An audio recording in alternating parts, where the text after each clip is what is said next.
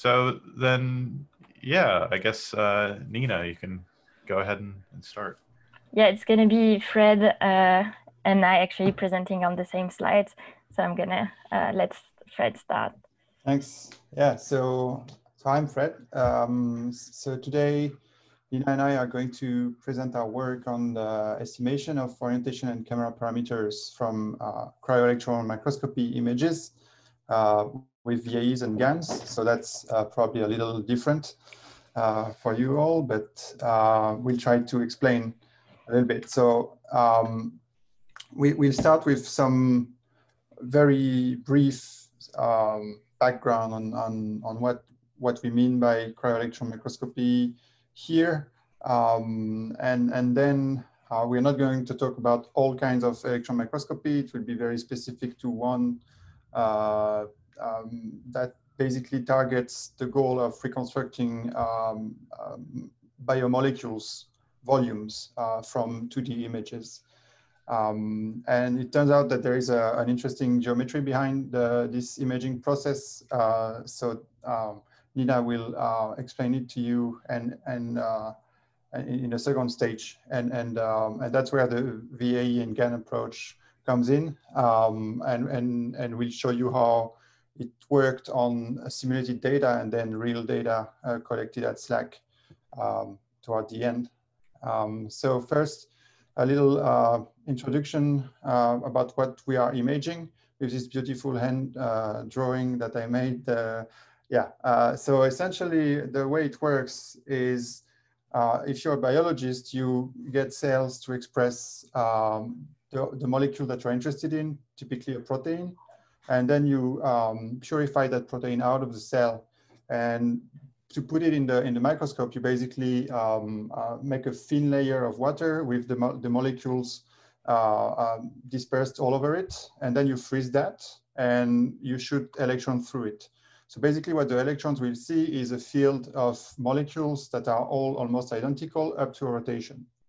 Um, so the first uh, quantity of interest is that uh, you, you are imaging something up to rotation. So that's, that's the first unknown in our problem. Um, then there are other difficulties. Uh, the, the, second difficulty being that you are actually uh, projecting the, the, the, density of your object in real space, uh, which is equivalent to uh, actually collecting uh, a Fourier slice, I mean a slice in, in Fourier space, um, and, and um, by basically um, having sufficient, um, basically rotating the molecule in real space corresponds to like rotating the slice in, in, in, in Fourier space. Uh, and the third difficulty is that um, the, the, imaging process is um, corruptive, uh, which means there are two, side, two, two, two origins of that corruption. The first one is that you are blurring your image with the CTF, the, the contrast transfer, the point spread function of your microscope. And, and, and that um, many, many, there are many types of, um, um, this takes many shapes, but the main uh, parameter that enters in this is the defocus between the image plane and the detector plane. And, and, um, and that's something you don't really you know, you, you, you, you want to estimate that. And finally, you are corrupting your images because there is a lot of noise uh, from the detector, uh, the, the electron gun, and, and uh, surrounding water, which is the main uh, actually what's, what's most prominent in your sample. Um, so that's the image formation model um, when you are using um, electron microscopy to uh, image proteins, essentially. And, and um, obviously what you want to do is to inverse it.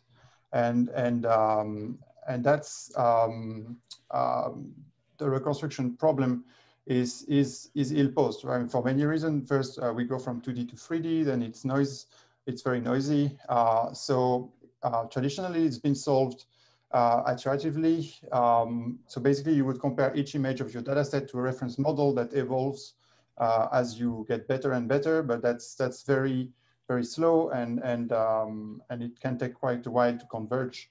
Um, and also, it's uh, bound to be problematic as the datasets grow. Uh, we might have some kind of scalability challenge at some point. So um, when we started chatting with Nina, we asked ourselves whether we could leverage some uh, intrinsic geometry uh, in the images to bypass the need for comparing all the time with a reference. uh, and, and um, that might offer a, position, uh, a solution to scale better, essentially. Yes, thank you, Fred. So Fred introduced the uh, basic principles of cryo-electron microscopy and the image formation model and told you that uh, the reconstruction of the 3D shape of the biomolecules is actually quite computationally expensive. So here we're going to present a method that aims to do to reach the same goal, but hopefully faster.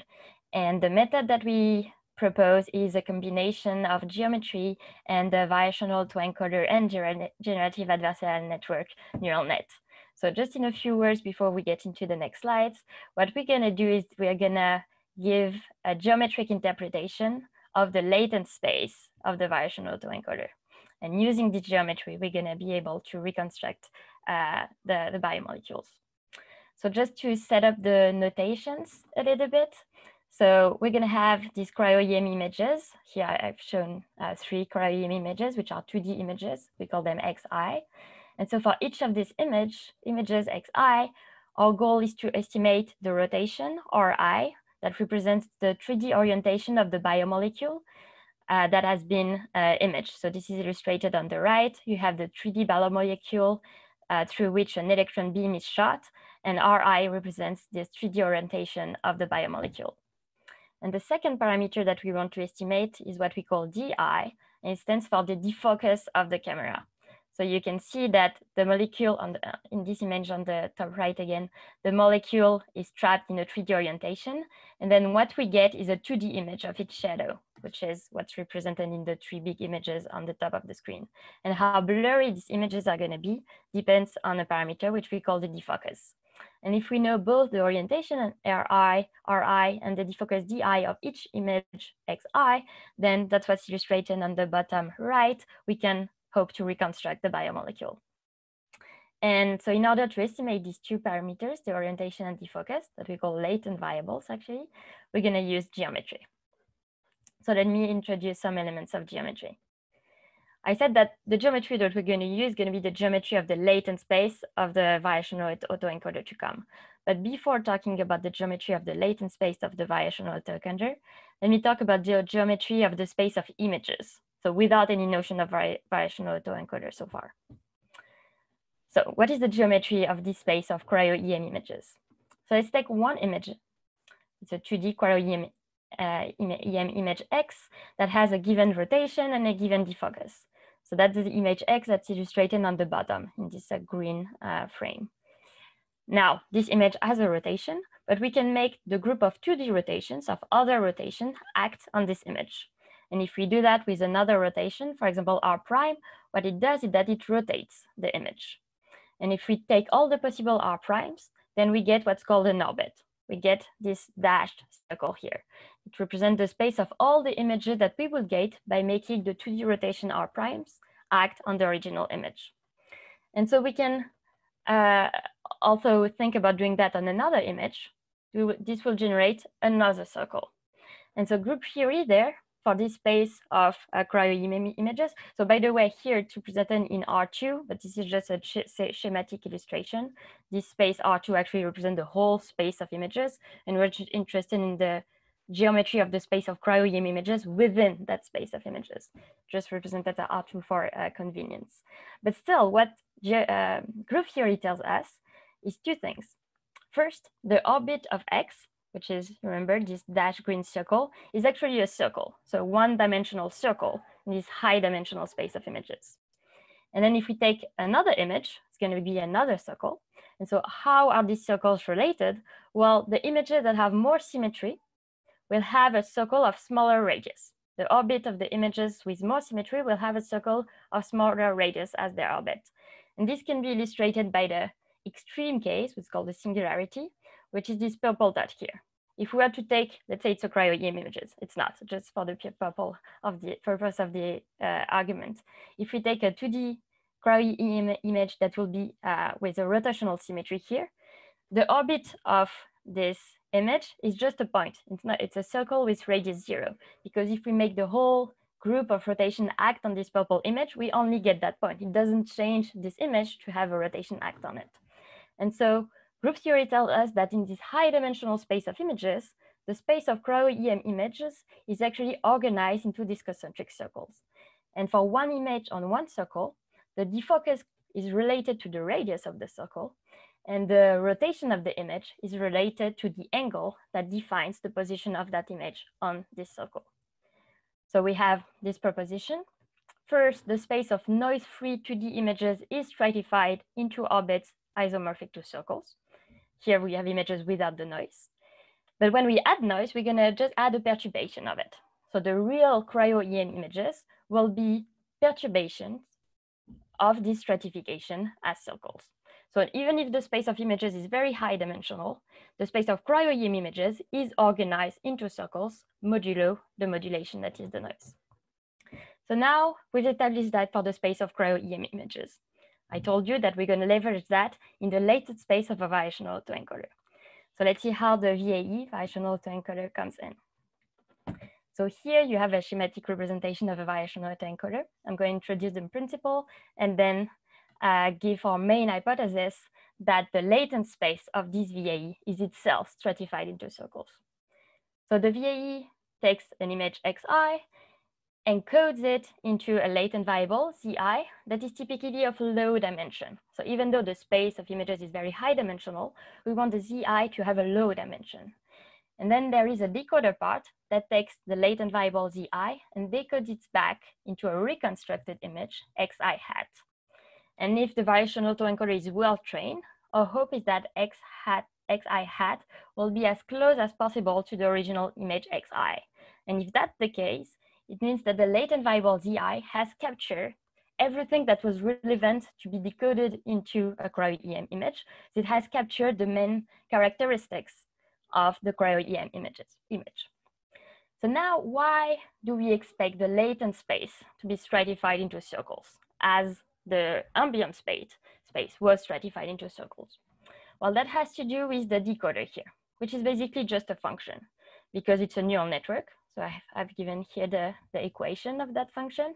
But it's basically just a function that takes the i from the latent space and that embeds it as xi hat in the ambient space.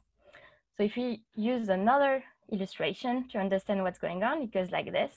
So you have the illustration on the right, where this time the latent space is represented as a 1D space for the purpose of illustration. And the ambient space is again represented as a R2, just for the purpose of illustration. So what the decoder does is it takes the I and embeds it as FW, so mu W, these are the bias and weights of the neural network, the I, and it becomes this blue point here in the ambient space. And if we were to embed the whole latent space, we'll get the submanifold in light green of the ambient space. And then xi hat is generated from that. And so during training, because we want to get latent variables that are able to reconstruct the original cryo-EM images, what, what the decoder is gonna do is gonna fit this uh, submanifold in light green to be as close as possible to the distribution of cryo-EM images in ambient space. So basically the latent space R will be transformed through the decoder to give a space of some curvature. And this space of some curvature will try to be as close as possible to the space of cryo-EM images within the total space of images. And because the space of cryo-EM images is stratified into orbits, this latent space transformed in ambient space will capture these concentric circles if the VAE is well trained. And so our main hypothesis is that if the VAE is well trained, we should see the circles in the latent space, in the 2D latent space, if we, if we choose two latent variables, in the 2D latent space uh, of the variational autoencoder. And now if that's the case, if we see the circles, then we can do the same strategy, which is using the latent polar coordinates, so zi transformed into polar coordinates to estimate the defocus and the rotation. Basically, we take one image, projecting in the latent space, then compute its distance to the origin, that will give us defocus, and then compute an angle that will give us its rotation. So in practice, uh, this is the loss function and the architecture that we use uh, for this uh, method. So the, the loss of the variational autoencoder, it's a sum of a reconstruction loss. So basically how close is xi hat from the original image xi and the regularization. For the reconstruction, we do not use some distance between images. So we, can, we could have used any notion of distance between xi hat and xi, but instead we use an adversarial net. So we implement a discriminator that will take xi hat and xi as inputs and try to distinguish them. And if it cannot distinguish them, then it gives a notion of similarity between xi hat and xi. So that's where the GAN comes in, in the reconstruction loss. And then the regularization uh, loss of the variational autoencoder. And what's interesting is that this loss is an upper bound of the negative log likelihood of the generative model. And that's just a point that I make here to just to compare our method to the state of the art in a, in a few seconds. So that's for the loss. In terms of architecture, we use convolutional layers uh, with, we try different number of layers for the decoder and also convolutional layers for the discriminator. And we perform hyperparameter search using Bayesian optimization and early stopping. And actually it was really interesting because without the hyperparameter search, we will see concentric shapes, uh, concentric 1D curves, closed curves in the latent space, but not exactly circles. But as soon as we did hyperparameter search, and this is a spoiler for the next slide, but we do see uh, the, the circles. And so to compare our approach to the state of the art, uh, we expect this approach to be faster for the following reason. So as Fred said, the state of the art is an expectation maximization approach that also computes some latent variable and also use that latent variable to reconstruct the volume. But the difference between EM and VGAN, which is what we do, EM compute a sample from the exact posterior of this latent variable. And sampling from this exact posterior in a Monte Carlo fashion is very computationally expensive. And so in a nutshell, what we do, instead of sampling from an exact posterior, we compute an approximate posterior via optimization. So this is the variational inference paradigm from the variational autoencoder. And this is expected to be 10 times faster on average, depending on your architecture, depending on many parameters, but replacing a sampling by an optimization is faster in general. So that was the reasoning behind uh, our method. Now, because of this advantage of variational inference, other um, uh, teams have uh, used variational inference to uh, reconstruct 3D shapes in cryo-electron microscopy. So I'm going to compare our method with the two main related works. The first related work is called cryoDRGN, and uh, their neural network architecture is illustrated here on the right. Uh, it's a very interesting work because in the latent variable that represent the cryo-EM image, not only they learn a rotation, but they also learn the conformation, which means the global shape of the biomolecule. And second, they are able to reconstruct the cryo-EM volume, so the biomolecule that you can see here on, on the right, uh, in an end-to-end -end fashion. So that's also uh, very interesting. But the, the problem is that this work is not fully leveraging variational inference. So they still sample to estimate the rotation, and they do variational inference under on the conformation, only on the conformation. So you have two types of latent variables and they do something on one and optimization on the other one. So it's still slower to what we uh, hope to be able to do. And second thing is that they perform, they, they implement these neural networks in Fourier space. So we use the cryo-EM image itself, which is why we can use convolutional layers. And this is great because this is uh, faster in uh, the difference here is that they first transform the image in Fourier space and then perform run the neural network in Fourier space. And because they do that, they cannot use convolutional neural network. Instead, they need to use fully connected neural network. And that's also potentially slower. So even though it's a great end-to-end -end architecture, we think that there are specific points in which we can improve speed. And this is why we, we propose our approach. And then the uh, other one uh, other related work is called CryoGAN, like in generative adversarial network. And this is also a very interesting uh, work that reconstruct the 3D volume of the biomolecule that you can see uh, in the green, in the black background here.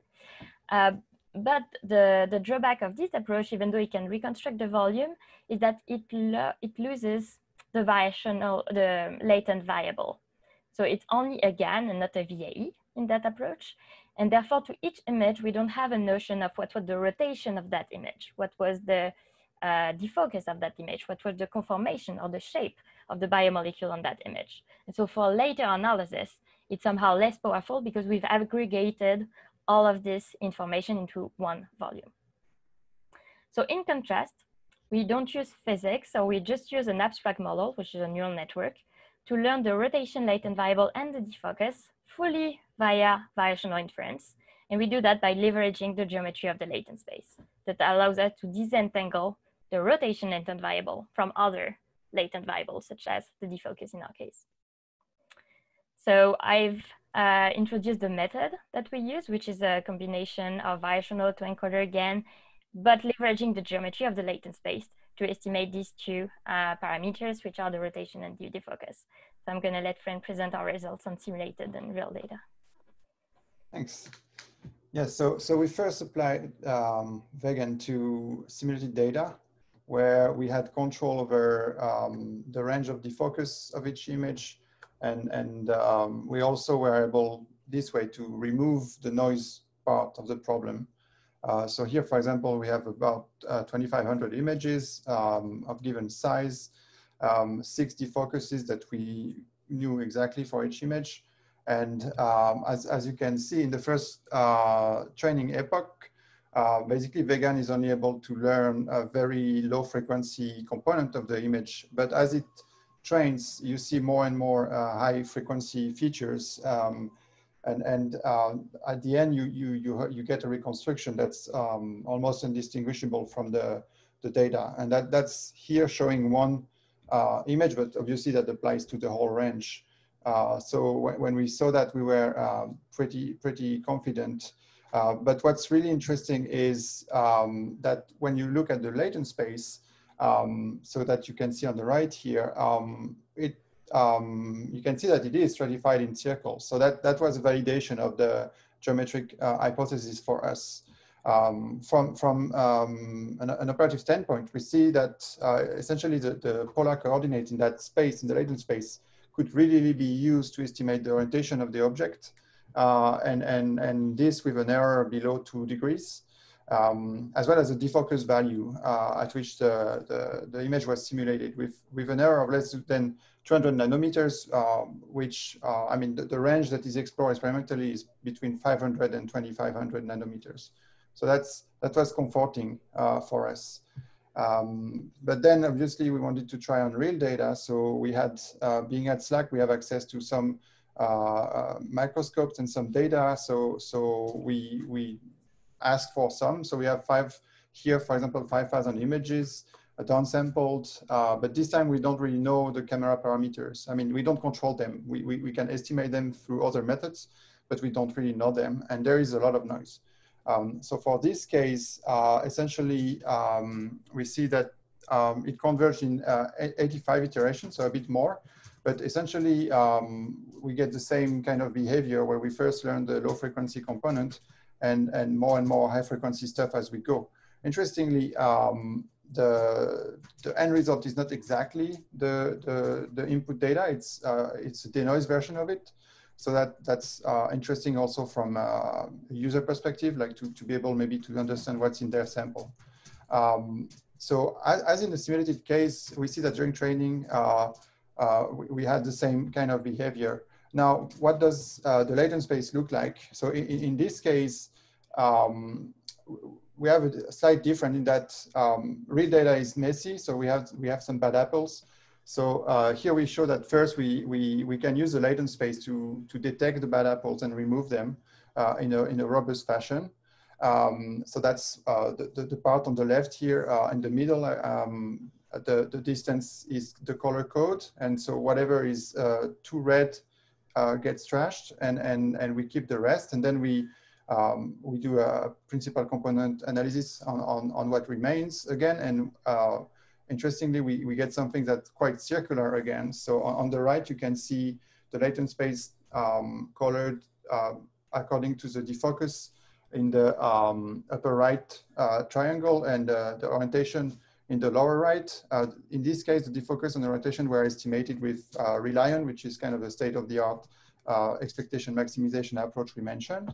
And, and we see that we have a good correlation qualitatively between uh, the radius and the defocus and the angle and, uh, and the polar angle. So that's, uh, that was reassuring. Now, quantitatively, uh, we show um, that we can estimate on this data set um, uh, angle with an error uh, between 20 and 40 degrees, um, depending on the case, and the defocus with an error in the 500 nanometer range. So this must be understood in the context that VGAN only saw the unsampled version of the data, while the uh, ground truth were obtained on the fully sampled data. So um, it, it remains to be seen how, how this improves with um, uh, upsampled data compared to what we have here. Um, also, some views are more challenging due to intrinsic symmetries. Uh, so we are still working on automatic ways to detect symmetries. Uh, uh, for example, uh, some a lot of biological objects uh, have some rotational symmetry, C2, C3, um, that makes the prediction challenging, the estimation challenging. Um, right, Just, and more generally, yes, I think we're reaching. Yeah, if, if you can wrap up, you're, you're yeah, a few yeah, minutes yeah. past. Okay, already, okay. So uh, we are now benchmarking, benchmarking the method on, on other data sets and, and, um, and all, all that we showed today was 2D, but we also have like uh, initial results in, in 3D. So yeah, I think we can conclude. So as a conclusion, uh, since many cryo-EM microscopes are installed in, around the world following the Nobel Prize that was given to cryo-EM uh, in 2017, you have many more cryo-EM images that are produced. And that's great, like this explosion of data, as you can see uh, on this graph from SLAC, which is the total uh, cumulative data volume from cryo-EM at SLAC. This explosion of data is great because if you have more images, cryo-EM images to reconstruct one shape, then you can have higher resolution in the reconstructed biological shape. So we, there is actually a need for a faster method, which is what motivated uh, this work. Uh, but so this work was a proof of concept. We showed that we can use geometry to reconstruct to uh, estimate the rotation and the focus to later reconstruct the biomolecule. But as Fred said, we did it on downsampled images. So now we need to benchmark it uh, against fully sampled images to see if we uh, get that, that, that, accuracy and then benchmark uh, the actual speed because we expect at 10 times speed up, but we need to, to benchmark that. But uh, still, this talk is the first fully variational method that estimates orientation and defocus, and we are pretty exciting. Thank you. Thank you. Great, thanks. Okay. Uh, so if you, yeah. Yeah, so we were a little over, but we do have a small bit of time for questions because it started late. Uh, do you want to say something before that, Chris, or should I go straight into the questions? Um, just that people can post or upvote. So upvote will help us since we have limited time. Yes. Um, so right now, the top voted uh, question from Scott, what benefits do you expect to get from using a GAN instead of a simple distance metric for input-output image similarity? Yeah, so thank you. That's a, a, a great question. So I've used the GANs in my in my previous work um, um, uh, with the variational autoencoder, and uh, using GANs is basically as if it was learning uh, the distance that the that is the optimal distance that you may want to use between xi hat and xi. So instead, obviously you might not want to use the mean squared error because there is so much noise, but you could think about using uh, some kind of uh, distances on images. But doing it with a GAN is putting another flexibility to your model that allows to learn the reconstruction loss or the distance between images as you go. And so uh, using that, especially in, my previous work, uh, really improved the reconstruction. So the reconstruction was sharper uh, using the GAN as the reconstruction loss. Um, and because of the, the VAE are known to like reconstruct images, but always being a bit blurry. And there is some research trying to understand why the reconstructions are a bit blurry. But using a GAN as a reconstruction, reconstruction loss um, uh, help fighting that blurriness. And since our images were already extremely noisy and we wanted to see uh, fine details in the in the long term, we we used that that GAN. Uh, so, but yeah, we should also try with or without GAN and see if we can really see a difference. I think this difference is gonna come when we go to uh, images of finer resolution. So we downsample the images right. to have the proof of concept, but I think this will really come into play with finer resolution. Uh, Let's do one more. Yeah. One more question. Since you use polar coordinates, do you have any weird issues with wraparound, i.e. 2 pi equals 0, and how do you encode the boundary condition?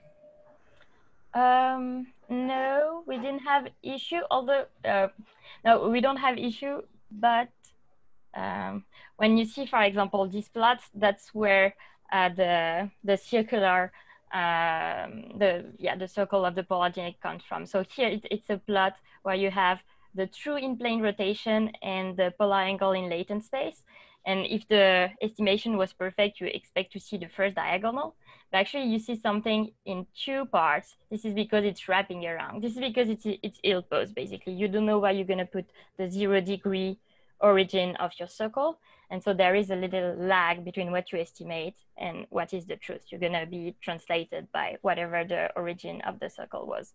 So at first we were surprised by this, but actually it makes sense. And though we didn't have uh, problems with this, maybe it's because our circle is embedded in R2. It's actually completely continuous in R2. So we didn't have uh, that problem. And we also, when we estimate the uh, root mean square error, we do it modulo 2 pi and so we don't have that problem. All right. Um, so we do, not wanna... have any more time, or well, why don't you read out the next question? I'm going to steal the screen sharing and get the next person yeah. set up while they okay. answer the last one. Uh, yes. So the next question is: there a blur threshold where the image is too blurry and you expect your reconstruction to be not representative of the original image? Um, so we, we didn't look at any blur threshold, uh, but it's true that the, so maybe if I do know that better than me, but depending on the noise level and the blur threshold, you can only reconstruct the image at a certain resolution. So it's not black and white, it's more like depending on how many images you have, depending on the blur threshold and depending on the noise level, you can, only, you can only go that far. And what we want to tackle in terms of resolution here is increasing the number of images uh, because that increases the resolution at a given blur threshold and at a given uh, noise level. Uh, but I, I, I, don't know about the uh, phase change. Uh, uh, yeah. Well, thank you for the, the very nice talk.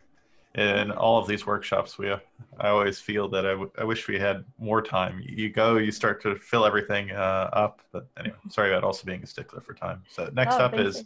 Scott uh, talking about LUX.